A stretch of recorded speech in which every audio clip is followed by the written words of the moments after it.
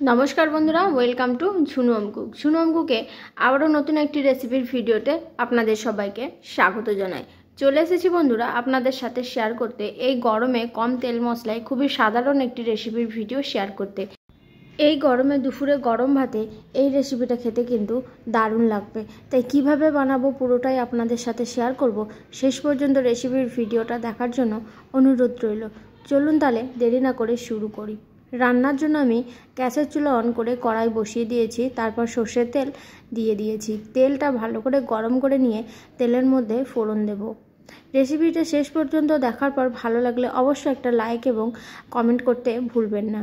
এবার আমি ফোড়ন দিলাম পাঁচ ফোড়ন। তার সাথে নিয়েছি এখানে সয়াবিন, আলু, কচু এবং ঝিঙে।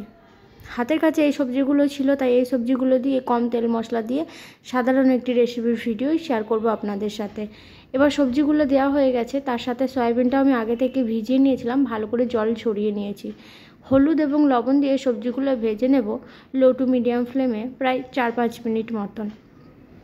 নতুন বন্ধু যারা আছেন এখনও এই চ্যানেলটিকে সাবস্ক্রাইব না করে থাকলে অবশ্যই সাবস্ক্রাইব করে পাশে থাকবেন। আমার শেয়ার করা নতুন নতুন রেসিপির ভিডিও দেখতে চাইলে সাবস্ক্রাইব করার জন্য অনুরোধ রইল। আর যেসব বন্ধুরা সাবস্ক্রাইব করে পাশে আছেন, তাদেরকে অসংখ্য ধন্যবাদ জানাই। এছাড়াও বন্ধুরা, আমার একটা ছোট্ট ফেসবুক পেজ আছে, সেখানেও আমি কুকিং ভিডিও শেয়ার করে থাকি। আর সেই ফেসবুক পেজ থেকে কুকিং ভিডিও দেখতে চাইলে অবশ্যই পেজটিকে ফলো করে পাশে থাকবেন। এবার সবজিগুলো ভালো করে ভেজে নিয়েছি চার পাঁচ মিনিট মতন। তারপর দিয়ে দিলাম টমেটো। এখানে একটা মাঝারি সাইজে টমেটো নিয়েছি, একটু ছোট করে কেটে টমেটো দিয়ে দিলাম। টমেটো দিয়ে আবারও কিছুক্ষণ ভেজে নেব। তারপর টমেটোটা একটু ভাজা হয়ে গেলে বাটা মশলা দিয়ে দেবো। বাটা মশলার মধ্যে আমি দিয়েছি কাঁচা লঙ্কা, আদা, জিরে এবং সামান্য পেঁয়াজ। আপনারা চাইলে পেঁয়াজ ছাড়াও এই রেসিপিটা বানিয়ে নিতে পারেন।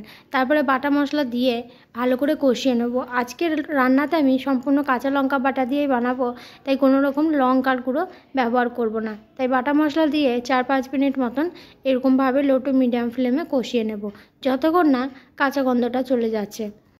যে কোনো রান্নাতেই বন্ধুরা কাঁচা গন্ধ থাকলে কিন্তু তরকারিটা খেতে খুব একটা ভালো লাগে না। তাই খুব ভালো করে কষিয়ে নেব। কষিয়ে নেওয়ার পরে আমি জল দিয়ে দেবো। তার আগে গুঁড়ো মশলাগুলো দিয়ে দেবো। খুব একটা বেশি গুঁড়ো মশলা আর ব্যবহার করব না এই রান্নাতে। এখানে দিয়ে দিলাম হলুদের গুঁড়ো। তার সাথে দিয়ে দিচ্ছি সামান্য পরিমাণে ধনিয়ার গুঁড়ো। আর লবণ দিয়ে দেবো স্বাদ অনুযায়ী বা পরিমাণ মতন। ভালো করে কষিয়ে নিয়ে তারপর জল দিয়ে দেবো। সিদ্ধ হওয়ার জন্য সামান্য একটু আমি চিনি দিলাম। আপনারা যদি চিনিটা না দিতে চান তাহলে স্কিপ করে দেবেন। এবার মশলাটা আবারও কিছুক্ষণ কষিয়ে নেব সামান্য পরিমাণে জল দিয়ে। এইভাবে মশলাটা আবারও দু তিন মিনিট মতন কষিয়ে নিতে হবে লো টু মিডিয়াম ফ্লেমে ঢাকনা চাপা দিয়ে। আবারও খুব ভালো করে আমি মিশিয়ে নিচ্ছি। সামান্য পরিমাণে একটু জল দিয়ে দিচ্ছি যাতে মশলাটা পুড়ে না যায়। জল দিয়ে আবারও কিছুক্ষণ কষিয়ে নেব। একটা ঢাকনা চাপা দিয়ে। এই রান্নাতে আমি সবজিগুলো একদম ছোট ছোট করে কেটে নিয়েছি, তাহলে তাড়াতাড়ি সিদ্ধ হয়ে যাবে। আর সমস্ত সবজিগুলো একই রকমভাবেই কাটার চেষ্টা করেছি। এবার জলের সাথে ভালো করে মশলাটা মিশিয়ে কষিয়ে নিয়েছি। লো ফ্লেমে কিছুক্ষণ ঢাকনা চাপা দিয়ে কষিয়ে নেব। যতক্ষণ না মশলাটা একদম সবজির গায়ে লেগে যাচ্ছে, একদম শুকনো শুকনো করে কষানো হয়ে গেলে জল দিয়ে দেব। এবার কিন্তু সবজির সাথে খুব ভালো করে মশলা আমি কষিয়ে নিয়েছি। তার সাথে সয়াবিনটাও ভালোভাবে কষানো হয়ে গেছে। এবার সিদ্ধ হওয়ার জন্য জল দিয়ে দিচ্ছি। সবজিগুলো কিন্তু অনেকটাই সিদ্ধ হয়ে গেছে মশলাটা কষাতে কষাতে। তাই পরিমাণ মতন জল দিয়ে বাকি আলু সিদ্ধ করে নেব এবং কচু। কচুগুলো একটু ছোট করেই কেটে নিয়েছি আলুর মতো করে যাতে তাড়াতাড়ি সিদ্ধ হয়ে যায়। এবার ঢাকনা চাপা দিয়ে ভালো করে সিদ্ধ করে নেব। গ্যাসের ফ্লেমটা লো টু মিডিয়ামে রেখে সিদ্ধ করে নিচ্ছি, তারপর আমি আবার ঢাকনা খুলে নিচ্ছি। মাঝে একবার ঢাকনা খুলে আমি নেড়ে নিয়েছিলাম, তা আবার ঢাকনা খুলে এবার চেক করে নেব সবজিগুলো সিদ্ধ হয়ে গেছে নাকি। সে সবজিগুলো সিদ্ধ হয়ে গেলেই কিন্তু তরকারিটা পুরোপুরিভাবেই তৈরি হয়ে যাবে। আর এই রান্নাতে আজকে আমি কোনো রকম গরম মশলা ব্যবহার করছি না। এবার কিন্তু আলু এবং কচু পুরোপুরিভাবে সিদ্ধ হয়ে গেছে, তাই গ্যাসের ফ্লেমটা বন্ধ করে তরকারিটা একটা বাটিতে ঢেলে নেব। আশা করছি বন্ধুরা, আজকে শেয়ার করা রেসিপির ভিডিওটা আপনাদের ভালো লেগেছে। তাই ভালো লাগলে অবশ্যই একটা লাইক করবেন। চ্যানেলটিকে এখনও সাবস্ক্রাইব না করে থাকলে অবশ্যই সাবস্ক্রাইব করে পাশে থাকবেন। পরবর্তী রেসিপির ভিডিও দেখতে চাইলে।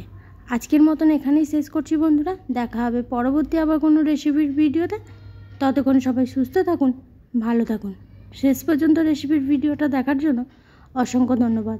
তার সাথে অবশ্যই একদিন বাড়িতে বানিয়ে খেয়ে দেখবেন বন্ধুরা। আশা করছি আপনাদেরও আজকের রেসিপির ভিডিওটা ভালো লাগবে।